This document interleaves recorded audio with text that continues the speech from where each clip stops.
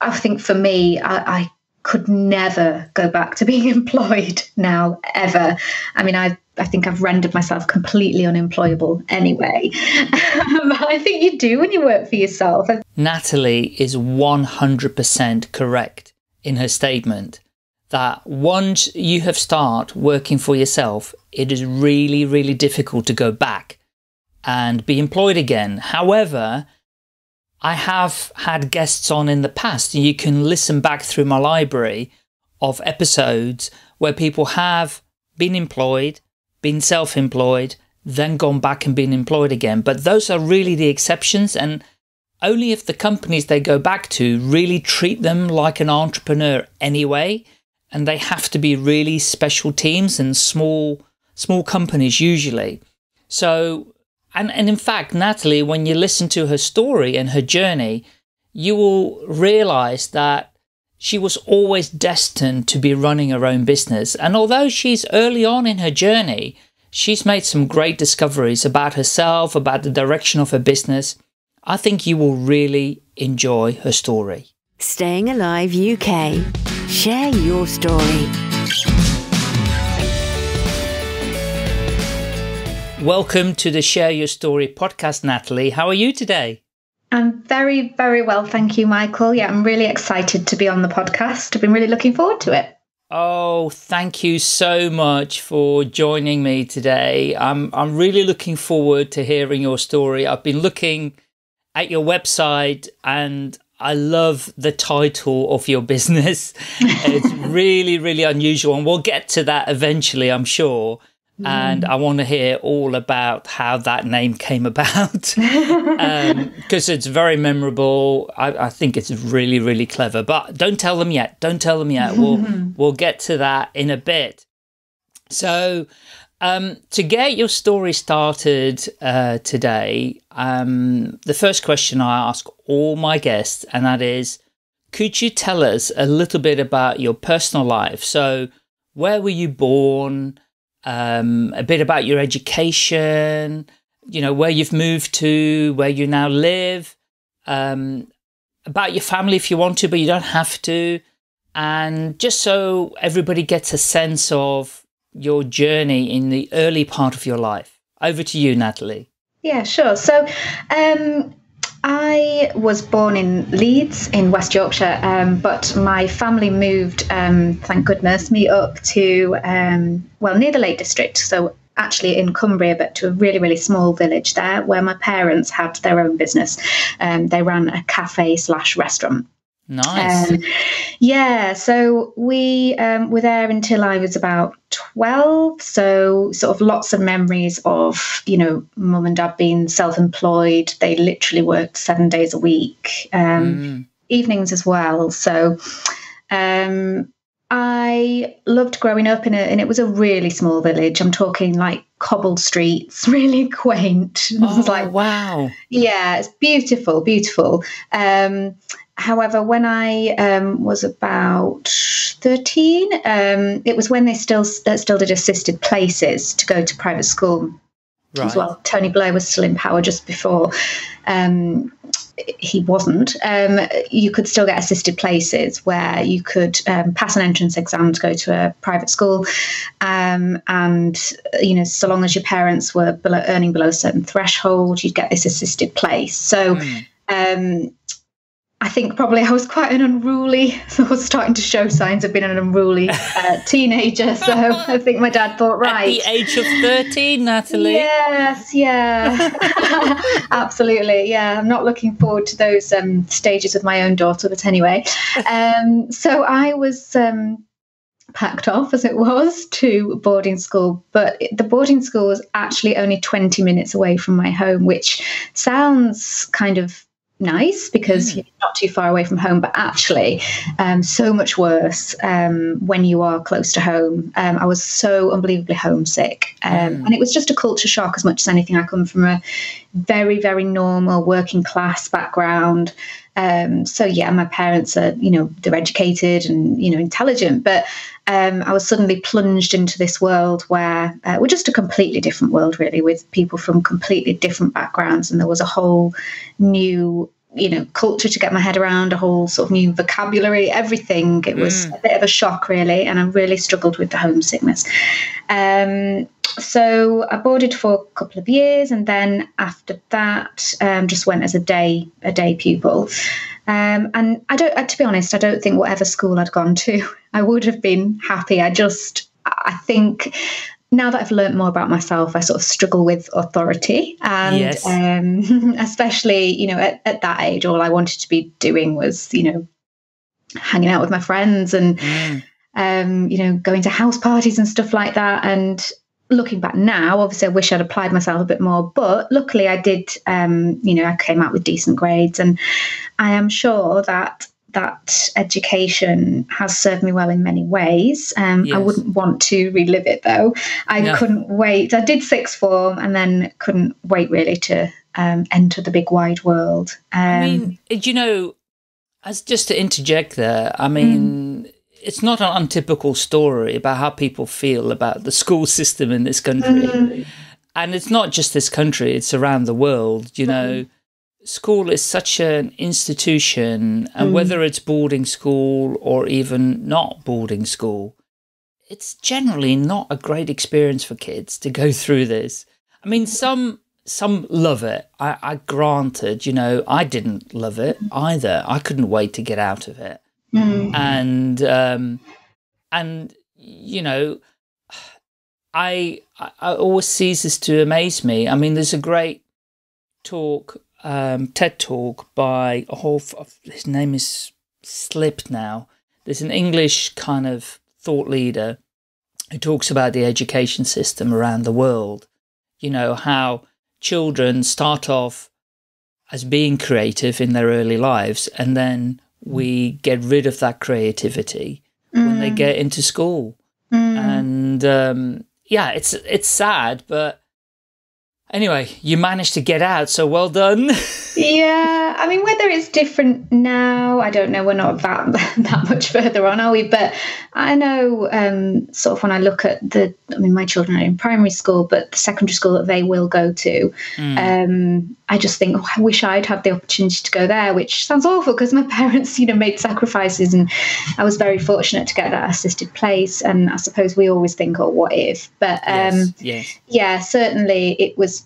It just seemed, you know, my particular school seemed very old-fashioned, very, um, you know, very rigid um, and stuffy, and just just didn't fit really with my personality at all. But it is interesting as as the story goes on, perhaps how that's helped you know shape what I do today really. I'm sure it has had an impact. But I knew that when I um I did sixth form and I knew that I didn't really know what I wanted to do. So I didn't want to I got the grades to go to university but I knew that if I went I would just kind of waste it. I'd spend 3 4 years um doing a degree. But what was the point if I didn't know what I was you know what job I wanted to do? So I told myself that I would take a gap year um, that gap year rather than traveling the world um, ended up being getting a job as a junior estate agent. I kind of thought, well, I'll you know work for a while and save up some money and then do the whole traveling thing.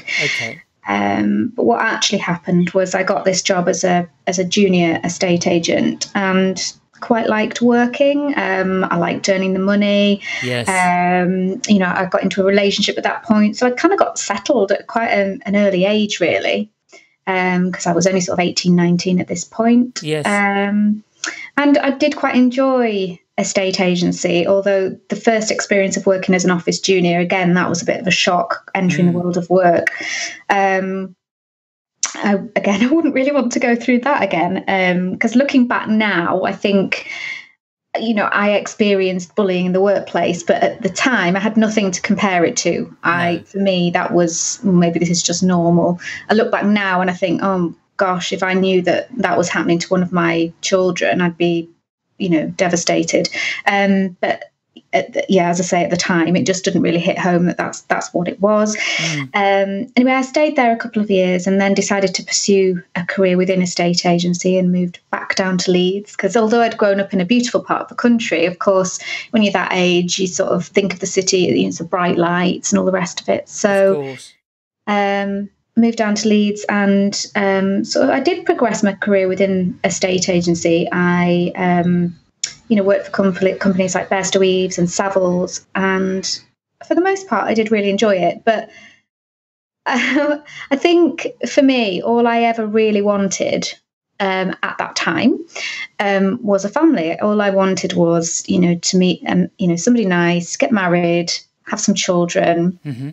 You know, in my twenties, um, although I enjoyed my work and although um, I was keen to sort of progress, really all I wanted was, you know, to live in a nice little cottage in the countryside. The irony here, I'd moved down to moved to the city, and all I wanted to do was get back to the countryside. Now at this point, yes. Uh, ridiculous.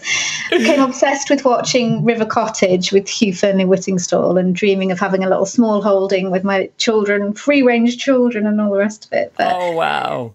Um, so I'd probably stayed in a state agency for about ten years, and then um, that's quite a while, isn't it? It? was quite a while, and I did sort of move, you know sort of every on average probably about every two and a half years because you do move around quite a lot in a state agency so progress from being you know admin to negotiator and then to valuing. So um, there was a progression but then the property market the bottom fell out of it basically and i got made redundant. And i think that was a good um, point for me to kind of think right what what do i really want here um, and as that sort of coincided with um, the relationship that I was in um, wasn't going very well, and I actually ended up moving back to Cumbria.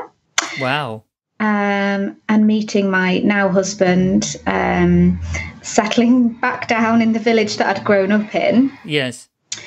Um, and then I had my two children who are now five and six. Um, and obviously, the first uh, few years of having them, I was just sort of focused really on um, you know, looking after them. And, you know, again, I was doing sort of bits of work um, around the village, you know, that's, you know, bits of cleaning, helping out in the village shop, mm. all sorts really, just whatever you can, whatever you can do. But, um, it was only really after I'd had the children that I kind of realized that I did have any ambition at all. Strange, really. Often, you know, most people kind of um, well, not most people, but I suppose the traditional way of doing it is to, you know, go to university, um, you know, start a career, progress that career, and then have a family and maybe go back to it. But kind of all happened the other way around for me, really. I think yes. I was so um, I wanted a family so much that I think that kind of clouded everything, and I don't think it left room for thinking about a career really because right. I was so focused on that. And it's almost like a, a, switch was flicked. It's strange. As soon as I had my my two children, um, it was like, oh right, I could do this and I could do that. And maybe it was a confidence thing as well because once you become a mum, I guess your confidence increases because you think, well, if I can do that, I can do anything. You know, I'm a mum, so mm. Um, I'm sure that was part of it. But I do. Do you think? There was something because you said, oh, you know, your interest was you, you didn't have interest to be kind of a, have a career, but but you had children, so I mean that in itself is a massive career. you know? It is, yeah. I mean that can't be underestimated. I mean, mm. what I find is that, um, and I'm not generalizing here, but mothers do sometimes kind of and maybe it's a society, I don't know, kind of saying, mm. oh, well, having children isn't really a career or, you know, isn't a job or, but it's a massive, you know, responsibility mm. and it's a lot of hard work. Actually, I believe, because it's 24 7, isn't it? That mm. you never stop. So it's actually more hard work than having a career or a job to be definitely honest. easier going to work definitely yes yeah. yeah and i think that i think it is as a um, you know part of, of our society and yeah i think everyone should just have the choice really to do what's best for them for some for some you know people it is best to you know, stay at home and focus on being a mum full time. For other people, that would drive them crackers, and mm. so it's better for them and their family for them to to go back to work. But yes. I think for most of us, in my experience, when I look around me, we are all trying to do it all and we are all mm. frazzled with it and uh, yes yeah don't feel like we're doing any of it um, very well mm. i mean i'm i'm fortunate and i'll sort of come on to this but i'm fortunate in that i do have flexibility uh, with my work and i do feel that i can get a balance but i know that for know 90% of the women that i know my friends they don't have the balance and it's really difficult. I don't know what the answer is really. Um, I just sort of hope for women that as the generations go on, perhaps you know it will get easier and there will be changes. But I think we've just, I think the society that we live in, we all have to work now really to keep up with a certain lifestyle and and even just to house ourselves, you know, with bills and council tax and everything. Right. So I think now I, it isn't so much of a choice. It's I saw a report recently, uh, and again, you see these headlines, but you can't remember who wrote it. Mm. Um, but the headline, and I totally concur with this, is that the future of work will mean that people will actually choose which days they want to work, mm. how long for, and what they will be doing, right? Mm. Um, so there's going to be more choice, I believe, and actually more, potentially even more, and I know that we're pretty well employed in this country, but even more employment for people because where people are going to just be working, you know, two days a week or three days a week to be able to fit it around their kind of lifestyle. Mm. And I think you know, this country still has a huge amount to learn compared to the continent or some of the Scandinavian countries where they really prioritize family mm. above work. Yeah. Right? So people actually get more priority or more support with supporting their family rather than more support um, with, you know, with with work in terms of, you know, we want more out of you type of thing. Mm. And I'm hmm. I'm I'm sorry, I don't want to take over this conversation, but no, I, just one other point to make. I'm reading this book at the moment that was written a few months ago by these guys who've been looking at the world of work in the future, mm. called and the book's called Digital Overload, and they're they're talking about this phenomena of, and, and this may be an interesting discussion when we get onto content, but it's you know this world of 24 7 that everybody's on all the time and that your boss expects you to be on um, even you know when you're at home type of thing with your mobile phone and that you know people are still sending your emails at 10 11 o'clock at night um, mm-hmm. because it's in their head. They've got their mobile there. They went oh i can just think of it. Oh that's my mobile. I can just send it. No one will be looking but yeah. of course, everybody. We all are. Yeah. We are all looking, you know. Yeah. So, yeah, it's going to be an interesting next decade, I believe, on how the world of work is going to change. And I believe the whole kind of family thing that we're just talking about is going to flip around for sure. Mm. I think I think things have to change, and I think there's so many different issues, but um, you know, it, for things to change, I think, you know, men need to be able to be more flexible with their work as well. And therefore, employers need to change their outlook and perception and, and, how flexible they are with their employees. Because, you know, again, from what I've seen, I know there are an awful lot of, of men out there and dads out there, you know, doing some of the childcare and, and some are doing it full time. But yes. I know for a lot of men they'd like to do more, but they don't feel that they can because they feel that you know it, it would put them back at work or it would be you know frowned upon. And I just think there's a whole shift that needs to take place before things are going to get any easier, really. Um, and as well, like you say about this whole 24 24 7 working thing, about this being switched on, it's really interesting. I've been thinking about that recently because you know, it, ha- happened to me last night actually. You know, it was sort of like I was getting ready to go to sleep about half 10, quarter to 11, and I noticed an email from a client. And mm. because it's on your phone, you just can't not look at it. And then that's in your head. And, and I felt myself almost replying to that because I, I wanted. Know. I wanted to get it off my, you know, out of my head, ticked off my list. Yes. But then I thought, no, because then that's just making people think that it's okay for them to email you at, at half past 10 at night and that you'll get back to them. So they're going to do it again and again and again. Um, so actually, I made myself wait until this morning. But um, I am actually going to look into. I was talking to somebody about this actually on my podcast the other week, and they were saying that you can get plugins for sending you emails so that you can write them and schedule them. But then they're only sent, you know, so you could schedule it on a Saturday. It should just be sent on Monday morning, which I think is far more kind of respectful for the other person. Um, because, like you say, although we think, oh, they won't be looking, they won't see it, we all are, aren't we? So that's what happens, you know. Mm. We and you know, I I oh, it's it's probably about eighteen months ago now that I stopped all the notifications on every single app mm. uh, on my phone. I just stopped them all. I've still got them. I mean, some I've deleted because I will only look on my desktop. Uh, I won't look on the app. Mm. Um, yeah, so I, I've stopped being active on Facebook. I stopped being act- I've come off Instagram, I've come off uh, WhatsApp, and and that's a whole other story because that's Facebook type products. Ooh. But um, but I also switched off all my notifications, so even my email notifications, I don't get any at all. So it's only when I go into my email mm. that, that I decide when I want to look at my email. Mm. So I won't be looking at it all night until you know kind of work time in the morning. Yeah. And it's, it takes discipline, doesn't it?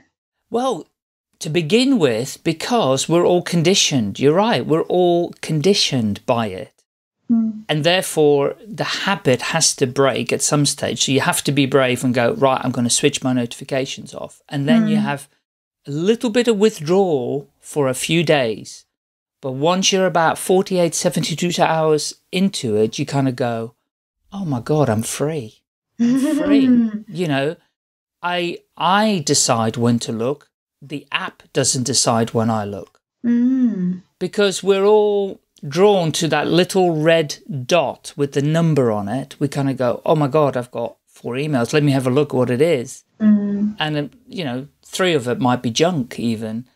Um, so it's very. I mean, we could have a huge discussion on this whole topic on its own, but it it is important because you know people that are working and are in employment are very stressed out. Mm. They believe that actually working on your own is an easier option. Well, we have news for you, it's not. um, however, there are different disciplines that even when you're self employed, working for yourself, you've got to put into place. Mm. Um, anyway, we, we digressed a little bit there. So, uh, so you're you're kind of on this crossroads of right. I could have a career now that the kids are grown up a little. Mm. Yeah, and it's. I think a lot of people say this. It, it didn't happen by accident, and I didn't exactly fall into it, but. Um, the path that I ended up going down wasn't the path I kind of intended to, but I'm glad I did. I basically um, thought, well, I, I need to sort of craft a career here because I knew that I didn't want to go back to being employed. It just had never really suited me.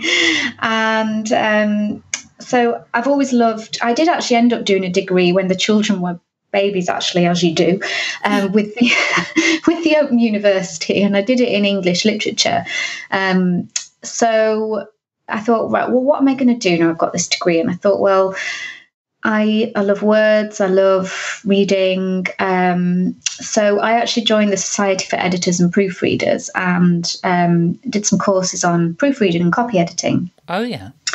And then once I'd got those qualifications, I set myself up freelance and started doing, um, you know, some work for publishers, mainly fiction novels and that kind of thing. And then um, one day, a friend of mine, um, she runs her own business and she just had a website done and written her own copy. And she said, Would I mind proofreading it for her? Which, of course, I did, you know, for nothing. And she said, um, I'm a member of this forum on Facebook. Um, so her business, it's really random. Her business is a bouncy castle and soft play business. Right. And basically, anybody in the UK who owns bouncy castles and soft play equipment is part of this particular Facebook group.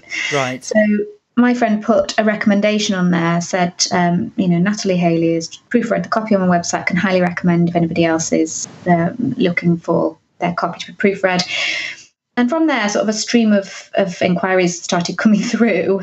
And right. I was like, okay, well, I may as well, you know, do this. It was, you know, quite easy for me to do around the children. So sort of started off doing that. And then, you know, as the weeks went on, people would say, well, actually, would you be prepared to write some copy for us? You know, we need descriptions for all of these different bouncy castles and for our homepage and about page, and writing just isn't our forte. Would you be interested? And I was like, well, I've always loved reading and writing, so I'm happy to dip my toe in. So started doing that for a while, and it turned into a little business really. Mm. Um, and I actually teamed up with um, a close friend of mine.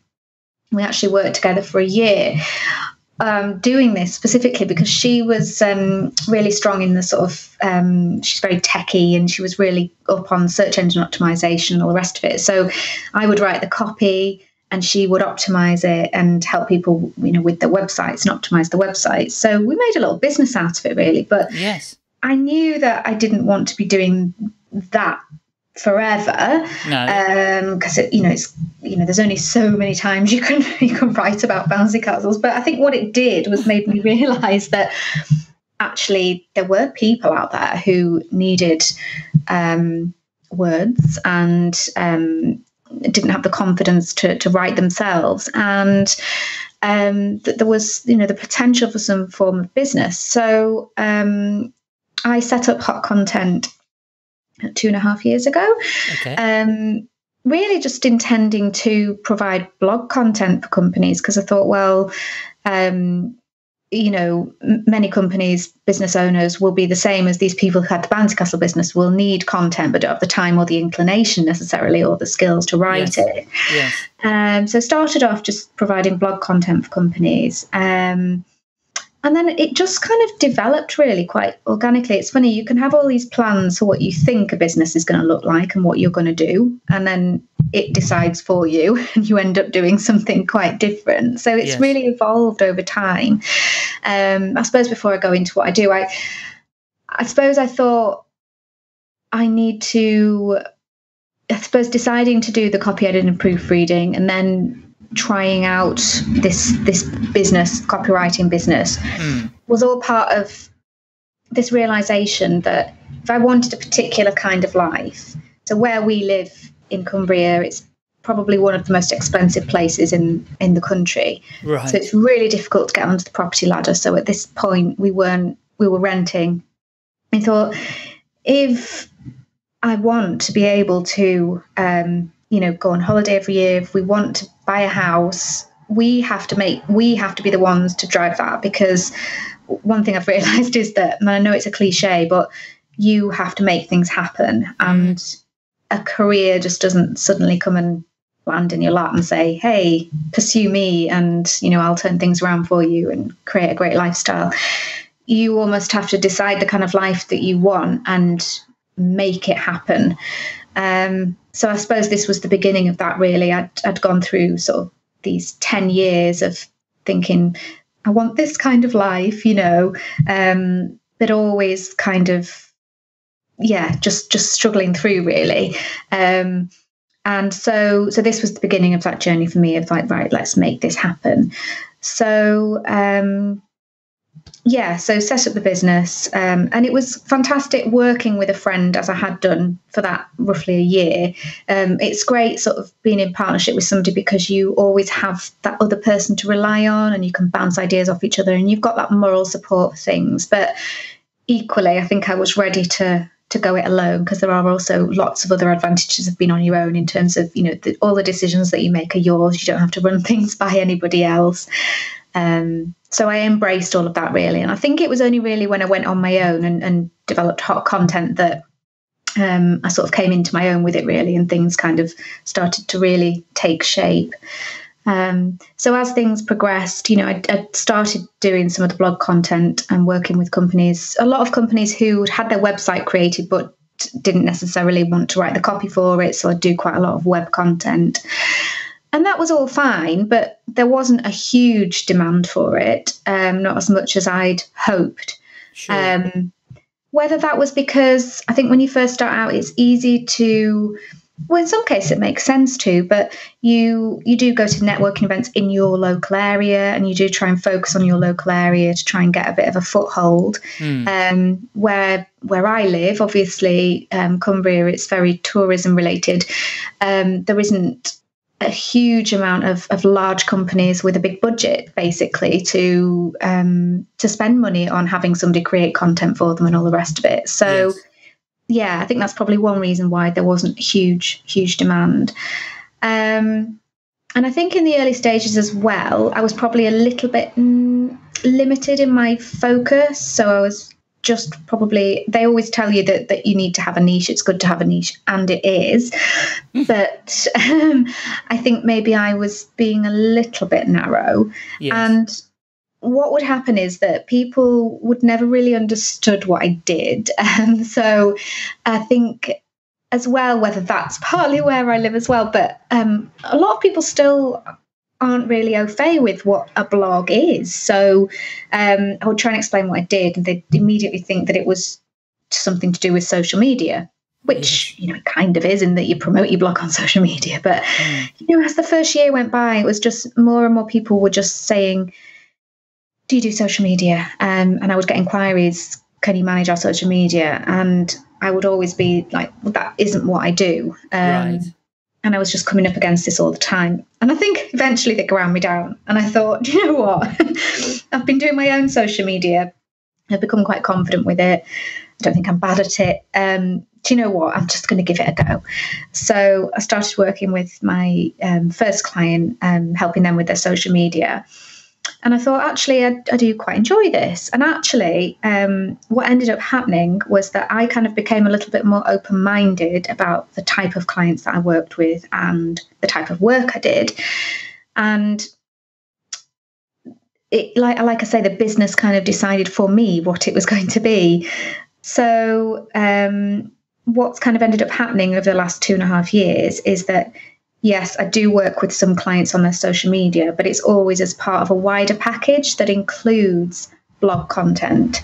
Um, so to me with with sort of marketing online marketing and content marketing you can't just take the one approach. So you can't just focus on your social media. You've got to have a great website to drive people to from your social media. You've got to have a great blog on there. Um, you know if you've got a podcast you need to also drive people to that from your social media. So you know it all works together. You can't just focus on one element on its own. And what I've found now by taking on the social media work is that i can help people with their blog, podcast, whatever it is, um, because I'm also working on their social media, I can kind of work on on their their online marketing as a whole, if that makes sense, which has been yeah. really good. So it's it's really interesting listening to you speak and recounting how where you you know started with you know bouncy castles and soft toys or whatever uh, and doing a bit of copywriting there mm. for their websites to realizing actually there's perhaps a little bit more to this. Mm. Okay, bit of blogging content because that, you know, kind of fits with where you started with it. And then looking at content, online content, mm. as a mm. bigger piece that actually, you know, it all needs to be joined up across mm. the piece, not just a blog in its own right or a podcast in its own right or social media in its it all just needs to be joined up and some strategy around it yeah and i think that's the thing that's it's the strategy mm. that pulls it all together and i think i was I joined quite a lot of marketing communities, which is one of the best things I ever did because I just think you meet such great people, helps get your name out there. It means you can collaborate with fantastic people and you learn such a lot.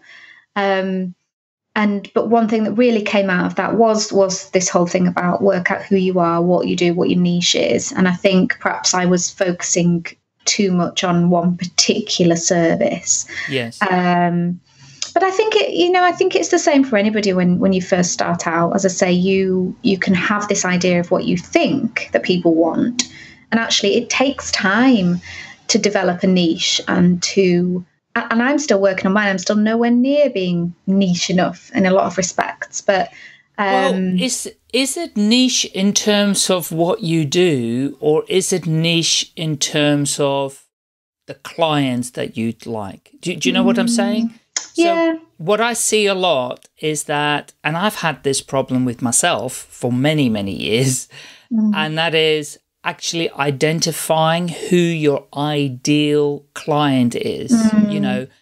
Um, and I guess to a certain degree, you've got to do that when you're writing content, right? You've, for, when you're helping a client, you've got to have some idea of that, you know, persona, avatar, or whatever of the person who's going to be reading it. Mm. Um, and I know we can all say, well, anybody, you know, it's anybody, but actually we can't work with everybody. There's like 7 billion people on the planet. you know, hmm. we, we, we do need to, I think, have a better view. And I struggled with this and I'm still, you know, identifying who is my kind of target client and what is their avatar or their persona Mm. uh, and there's other terms for it but and being getting really crystal clear on on who they are so i think that's where i would suggest to listeners and and anybody in in business to say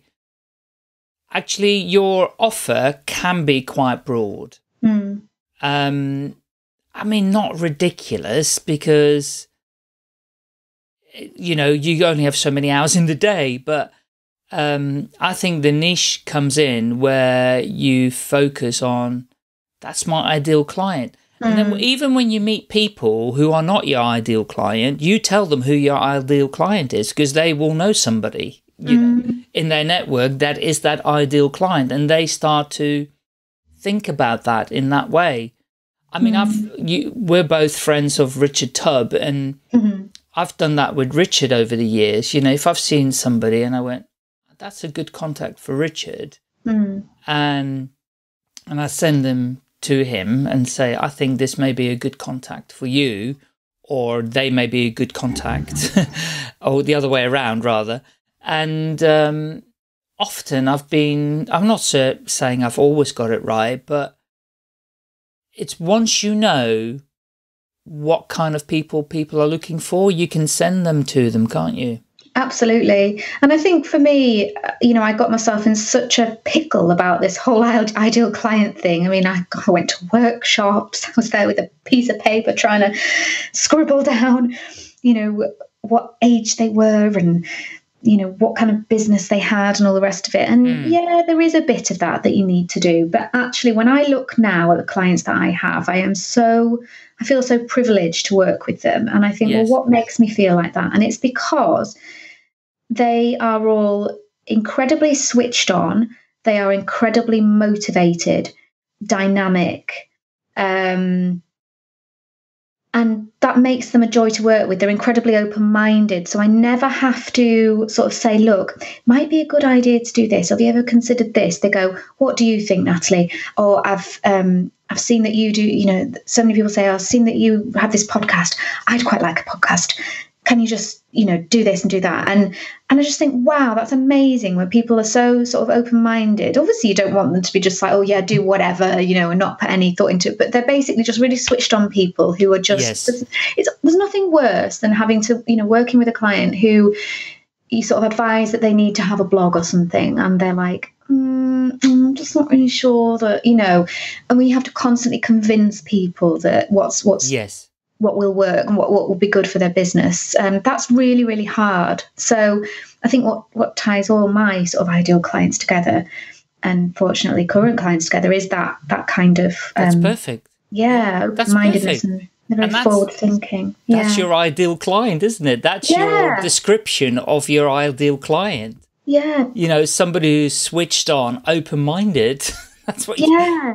But you see, that never occurred to me, Mm, you know, until I started working with those people. So absolutely. it is hard when you first start out. I guess I just want to get that across to people because I know how I sort of felt frustrated in the early Mm. stages. Um, and, and I just sort of think it's important for people to know not to worry about it too much at first and just experiment because for me, it was only when I became a bit more open minded myself and sort of thought, right, okay, well, I'll try working with this type of client that I realized that they were the right type of client. And sometimes you have to work with the wrong client, wrong kind of client to realize that they aren't right for you and you're not right for them. So Mm. I think, you know, it's a balance between knowing who you are, what you offer, and for who, and actually being a bit open minded and prepared to experiment and try new things as well. So, um, yeah, so so I feel like you know there's a lot of work still to do, and I'm still in in the relatively early stages of of, of the business, but.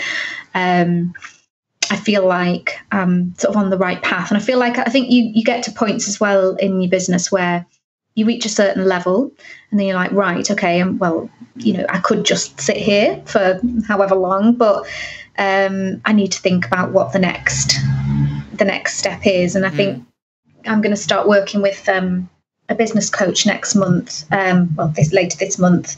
Um, and I think that's going to be really important for me because I think you get to a point where there's a few different ways you could go with something, and I think it's just carefully considering about where you where you take your business when you get to a certain point. So that that's going to be really interesting, I think. Sounds brilliant.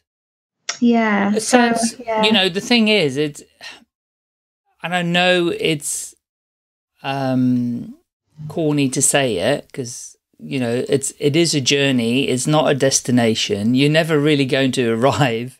Mm, Um, but the exciting thing is that it's never the same, and no. you're the one who decides where it's where you're going to take it. There's nobody telling you what you should Mm. you should be doing. I mean, even if you get a coach or a good coach, they will just inspire you to look at things differently. Not they're not going to tell you which direction you've got to go. That's going to be your decision. Exactly. Yeah. But they will inspire you to look at things in a different way, so mm. that you can get the answers that you're looking for. Yeah, definitely. And I think as well, you know, many of your listeners, as you say, will be considering going self employed, or it might be, you know, something that they would love to do in the future but don't have the confidence. And I think, I think for me, I, I could never go back to being employed now, ever. I mean, I, I think I've rendered myself completely unemployable anyway. but I think you do when you work for yourself. I think it, Well, you gave the clue was right at the beginning when you said something about not liking authority when you were 13. Yes, definitely. There's been a theme, I think. A theme. I just think the relationship with your cli when you're when you work for yourself and you have your own business, the relationship when you, or how it should be anyway when you work with your clients, it's one of mutual respect. Um, whereas unfortunately what is often the case when you are employed is is not always um, one of mutual respect and I think a lot of people sort of feel taken advantage of and um, feel demoralized and and I just think I, I think it also depends on what type of person you are. I mean, let's face it, to be to ha- have your own business, to be self-employed, you have to be incredibly self-motivated. So if you're not self-driven and self-motivated, it probably isn't for you. Um, you know, luckily, I've always been quite driven and in the sense of if I get something into my head, if I decide I want something, um, pretty much obsess about it and you know pester people until it happens. Yes. Um, you know, so it's not for everybody. Um, but I think you, I think you know, um, when you do it, it, it feel if it feels right, um, then yeah, th- you'll you'll never look back. Basically. no, absolutely. Well, that's brilliant. And I, I, I want to ask you a question. I, I interviewed on one of my podcasts a lady in America who's a, Mm. a fellow Dutch person, Mhm. and she runs a a website called Dare to Be Kind, and it's a movement to identify, uh, to be more kind, you know, in the world, to spread more kindness. and I I said I would ask my guests uh, a question about kindness in terms of their journey. Mm. So my question to you is, who in your career or your business that you're now running Mm. on that journey showed you some kindness that really significantly helped you on your way? Can you think of somebody and, and why? Yeah, there's always uh, well, there's there's obviously more than one, but if I had to um, you know pinpoint anyone, it would be somebody who, when I first set up on my own, Hmm. um, in the very very very early stages, um, just kind of offered me so much support from the beginning, and that's John Espirian. Um, so a lot of people know John is very prolific on um, LinkedIn. I actually met John on Twitter, and it was actually he was also a member of the Society for Editors and Proofreaders, um, so there was a little bit of connection there as well. But we we didn't really know each other from that. We just kind of he would engage with some of my posts on Twitter when we first started out, and he was just always so encouraging. Hmm. Um, he was always that sort of. He was a bit like a cheerleader, really. Wow. Um, you know, we've become good friends, um, and I think that's so important in those those really early days because they can be dark days. You know, where you're kind of questioning what you're doing. Is this ever going to work? Are you ever going to get anywhere and achieve what you what you're trying to achieve? Should you just go back to being being employed? of course. Um, it's so important to have people like that who show faith in you. And he would always, you know, just come out with really lovely comments. You know, love what you're doing. You're doing great stuff. Keep going. You know, um, you need you need people like that. So yes, it would be it would be John Espirian for Oh, me. Definitely. Thank you for sharing that. That sounds amazing. That sounds amazing. Yeah, I think when you become self-employed as well, and especially if you join, you know, you get to meet people on social media. If you join marketing communities as well, or communities that are related to whatever your industry is, you all do support each other, um, and that's that's been one of the best things about being self-employed for me is the people that you meet, um, you know, and the way everybody is so sort of collaborative and supportive. Definitely. Fantastic. So we kind of touched on, you know, your business about content and blogging. And so I'd like to just quickly revisit and perhaps give you an opportunity to, you know, explain, like in perhaps in summary, um, what it is that you do for people um, in that respect. I, I, we have mentioned quite a bit of it, but if you were to summarize it and then also with that, um, share with us, you know, how people can get in touch with you, Natalie. Yeah, sure. So if I had to kind of summarize it, um, I would say basically I work with um, businesses or individual business owners who want to become more visible online. So I will help them increase their online presence through, it can be through blogging, it can be through helping them with their podcast or repurpose their podcast, or it can be through their website content, it can be through their social media. Um, but the ultimate aim, however we decide to do it, whatever strategy we use, is to help people get seen online. Yes. Um, and so, as I say, the, the type of clients that I work with, they vary. Some are large organizations, others are really, really small business owners. Um, but what we're trying to do for each of them is ultimately the same thing. Mm. Um, so, yeah, for anybody who wants to um, connect with me um, or find out more about what I do, the website is hotcontent.co.uk and I'm on Facebook as um, Natalie at Hot Content and my Twitter handle is Hot Content UK. And brilliant. And we'll share those details in the show notes anyway, so people can find you. So I did say right at the beginning, I wanted to know how the name came about because I love the name of your business, Hot Contents. How did that come about? That was funny, really. Um, it was literally a blank piece of paper and um, one of those, what do you call them, where you write a word in the middle and then oh, spider diagram or something like that. Mind map. Mind map, yeah, it, it came from that. Um, and I honestly can't remember. I mean, obviously, it's clear to see where the content part came from, but quite how the hot part ended up there, I'm not incredibly sure. I think literally I sat down with a friend and we were just throwing words around and sort of ended up with with that really. But I guess you know it's a little bit of a buzzword as well. You do you know you do come across you know the term hot content, so mm. it just kind of seemed to fit. It's interesting because people outside of the content marketing industry are like, ooh, hot content. What what does that? You know, they think it's a very different kind of business. so yeah. Oh, God. when I, it's funny because whenever I tell anybody what my business is called to anybody that isn't involved in the industry, I'm always a bit like, you know, slightly embarrassed. Um, but you know, I deal with it. And funnily enough, um, I, Andrew and Pete, who I'm going to be working with as my business coaches, they're quite wacky with their marketing, and that's how they they stand out. They're amazing with it, but they mm. they're always trying to get me to be more, um, make more of the hot content, but. Um, you know, sort of with hot pink and, and stuff like that. But I'm I'm always like, no, I'm just going to keep it quite tame and toned down. I don't know.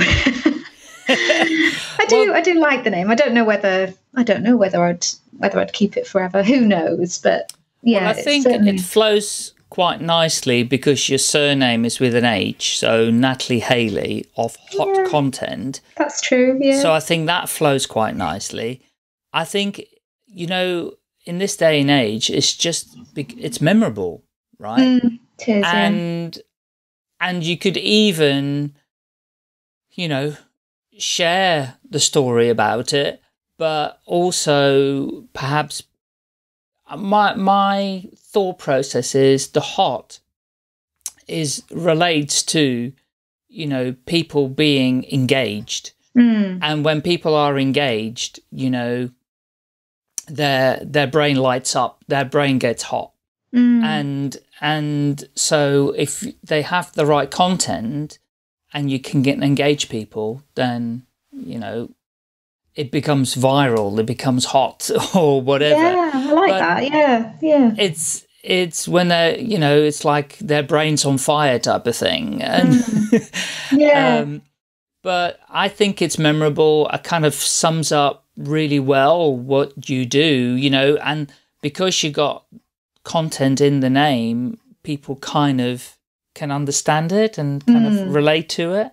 Yeah, yeah. So I think, yeah, well done for coming up with it. I think it's brilliant. I really like. I wish I could find it. I'll have to try and um, find the photo I've got on my phone, or it'll be on my computer or somewhere. I did take a picture of that spider diagram, the mind map thing. It'd be interesting to have a look back now, wouldn't it, and see what the other options were. oh, that would be because yeah. I, I noticed you do quite a bit of speaking as well. Yeah. Um, so tell us a little bit about that, actually, because we didn't talk about that.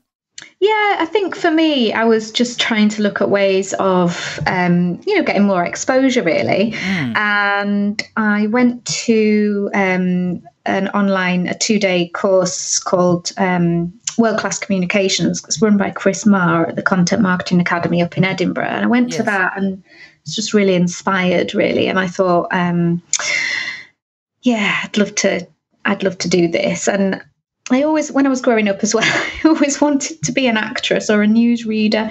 So I think, I think being, I think being on stage, um, kind of, you know, uh, you know, it gets that part of me out a little suits bit. Suits you. It suits you.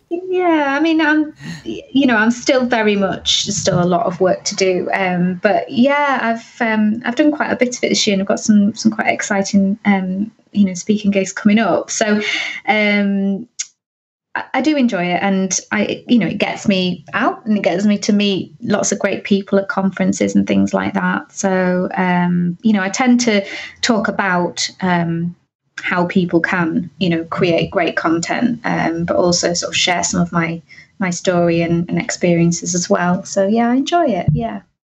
Brilliant. So what i was what went through my head when you mentioned that you had the picture that mm. you know the spider diagram and i don't know if you use slides or anything in your workshops or presentations or by yeah. way of introduction, you could always use that to say, show that and say that's where the name came from or whatever.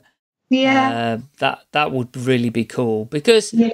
I think, I mean, people like to know how did people come up with the name. I mean, the name of my company, which is called Staying Alive UK, mm. um, literally the name, I swear, came in a dream. The name of my wow. business came in a dream. Oh. And literally with the song Staying Alive in my head. How and, amazing. And the message was the message I got from the dream was if you use this name, people will will always be singing the tune in their head. Ah. Um, and that's only years afterwards. And I, am a Bee Gees fan, but mm. I didn't pick the name for that reason. But um, years afterwards, I then realized that Staying Alive is actually one of the most popular songs on the planet. Right. Um, and I went, well, I never knew that. Mm. Um, so, yeah, so, but it's often when people, when I say, you know, my, that's my company name, people start singing the song. and, you know, I've not had to do anything. that is amazing. Yeah. Gosh, I love that it came to you in a dream. literally came, I literally woke up and I could remember the dream and I went, okay, then that's the company name. Yeah. and it is a good one. um, so Natalie, I've I've really enjoyed listening to your story and getting to know you a bit and where your whole whole journey from Leeds through to the Lake District and then back to Leeds and then back to the Lake District. And so absolutely fabulous. Definitely you're one to watch for the future, I think. Um, mm. I think what you've started and created is absolutely awesome. And um, hopefully um, I'll come and see you talk maybe one day. Let us know where you're speaking and maybe I'll come and, and visit and say hello. Uh, oh, definitely hope to meet in person one day, yeah. that's for sure. Definitely. Yeah. No, I've really enjoyed it. Thanks for having me on. It's been great. Enjoy and success with your business. Thank you, Michael. Thanks a lot. All the best. Bye. Staying Alive UK. Share your story.